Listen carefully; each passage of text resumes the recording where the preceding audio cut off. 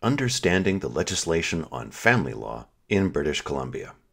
You probably remember from your high school civics class that the Constitution Act of 1867, formerly known as the British North America Act, divides the powers involved in running a country between the federal government, the Government of Canada, and the provincial governments. For the purposes of this discussion, we really don't care about them, we just care about the Government of British Columbia and the Government of Canada. Section 91 of the Constitution Act gives the federal government powers over exciting things such as navigation and shipping, the postal service, unemployment insurance, bankruptcy and insolvency, beacons, buoys, lighthouses and Sable Island, the criminal law, and, most importantly, from the point of view of someone who practices family law, marriage and divorce.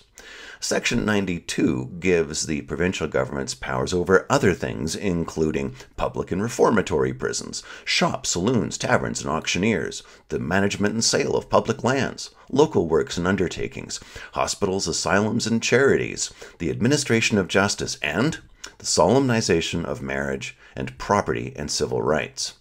Together, these powers are responsible for giving us the legislation on family law. The federal government's power over marriage and divorce allows it to create laws such as the Civil Marriage Act, which says who may marry whom, the Marriage Prohibited Degrees Act, which talks about the degree of relatedness by blood or by adoption within which one may not marry. In other words, you can't marry your mom or dad, but you can marry your cousin. It also gives us the Divorce Act, the government of British Columbia's powers over the solemnization of marriage gives us the Marriage Act, and its powers over property and civil rights give us the Family Law Act. Together, the Family Law Act and the Divorce Act are the main laws about family law in Canada and in British Columbia. The Divorce Act talks about, as you might expect, divorce. It also talks about parenting time and contact, it talks about how parents make decisions about their children, talks about child support, the payment of spousal support. The Family Law Act talks about a lot of the same things, but not quite. It also talks about parenting time and contact. It also talks about parental responsibilities, which are almost exactly the same thing as decision making responsibility. It talks about the payment of child support and the payment of spousal support. It talks about how property and debt are divided. It talks about how you decide who the parents of a child are, what happens when children are conceived by assisted reproduction, and how you determine who their parents are, the management and care of children's property when they are minors and unable to care for it for themselves personal protection orders when there is family violence, and property protection orders. But these are really the most important things that most people worry about most of the time. And as you can see, the Family Law Act and the Divorce Act talk about some, but not quite all of the same things. Only the Family Law Act talks about the division of property and debt, and only the Divorce Act talks about divorce. Now, legislation also comes with regulations, which are a kind of lesser sort of le uh, legislation. The most important regulation to the Divorce Act is the Child Support Guidelines. The Child Support Guidelines, which have been adopted by every province and territory in Canada except for Quebec, talk about how you calculate child support, how you calculate parents' shares of children's special and or extraordinary expenses, and how you calculate income for those purposes. The most important regulation to the Family Law Act is the Family Law Act regulation.